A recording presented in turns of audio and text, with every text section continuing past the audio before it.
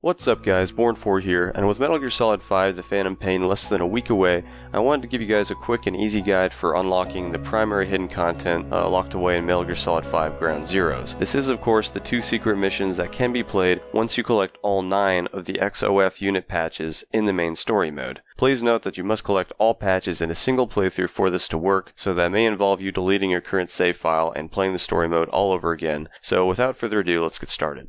The first patch you'll find on the cliffs, just where you began. If you take a few steps backward towards the edge of the cliff, which Snake just scaled, you will find one of the patches there. The second one is a bit harder to find. It's in the south end of the West Refugee Camp, so that camp just inside the main compound to your west, with all those tents in a row. That's the one you'll want to go to. Once you rummage around a bit, you'll find the patch on a heap of trash, and if you take note of where I am currently as displayed in the iDroid, you'll be able to go straight there no problem. Third patch is found in a small fenced-in area with a group of power transformers. This compound is in the warehouse area on the north side. Once you're there, you'll have to pick the lock all sneaky like and climb on top of the one on the far left. What do you know, it's an XOF patch. These are getting into weirder and weirder places to be sure, but let's move on. The fourth patch is an easy one. Just climb on top of the little roadside guard hut directly across from the prison camp. You know, the one with Chico and the other yellow-clad prisoners in cages. It'll be there. Patch number 5 is really close to that, as it's right inside the gate of the prison camp itself. It is easy to overlook this one, however, because it kinda blends in with the dirt, so aren't you lucky you found this video.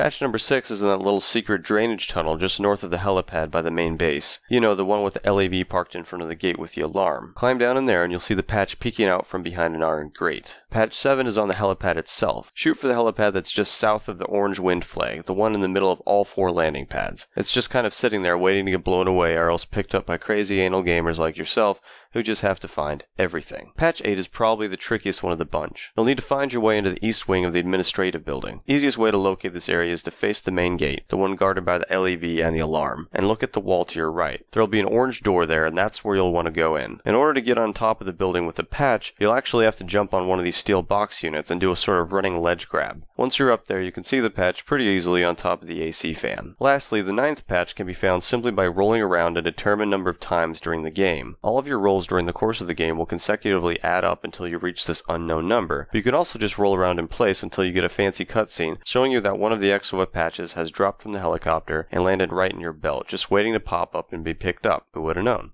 Well, that's all for today, guys. Once more, just remember that this patch collecting process has to be completed on the first playthrough of the main story mission on your save file. So if you've already played through the game and didn't notice all those patches, then you'll have to delete your save file and get them all in one go. Please note that it's okay if you die or need to save the game and start back from a checkpoint later on. That's fine, just as long as you get all 9 patches on that initial go. Hope that was helpful. If it was, please leave a like and subscribe if you haven't. It helps me out, and I will see you as always in the next episode.